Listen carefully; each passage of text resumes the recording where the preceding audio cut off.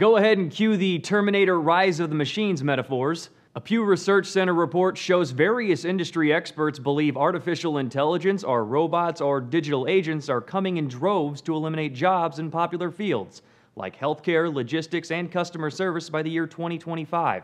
The growing influence of robots on the workforce was a common theme of the responses but experts were divided on whether that'll be a good thing. Of the nearly 1,900 people surveyed, 48% felt artificial intelligence will replace a significant amount of blue and white collar jobs, such as self driving cars replacing cab drivers.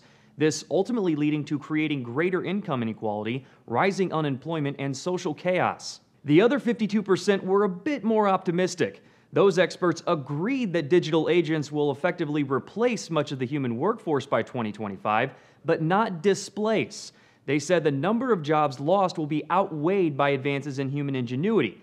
Basically, humans will go into new jobs that haven't been invented yet. Of the large swath of opinions from the report, we pulled a couple from both sides of the argument. U.S. Army Colonel and digital telecommunications expert David Hughes thinks the human hand will have to be involved on a large scale just as aircraft have to have pilots and co pilots. And Relationship Economy Expedition founder Jerry Michalski dropped a Harry Potter analogy automation is Voldemort, the terrifying force nobody is willing to name. The race is won by automation, and as long as we need fiat currency to pay the rent mortgage, humans will fall out of the system in droves as this shift takes place. Even SpaceX and Tesla Motors pioneer Elon Musk chimed in on the topic, but did so before the study's release citing Nick Bostrom's superintelligence book that's made him a believer that AI is potentially more dangerous than nukes. And a writer for Recode points out while we've known this shift was coming for factory work for a while, humans are also being replaced in jobs that require a college degree as robots get smarter and smarter.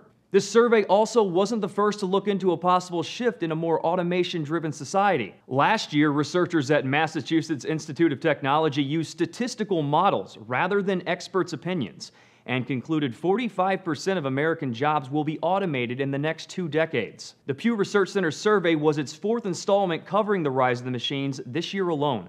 For Newsy, I'm Jay Strubberg.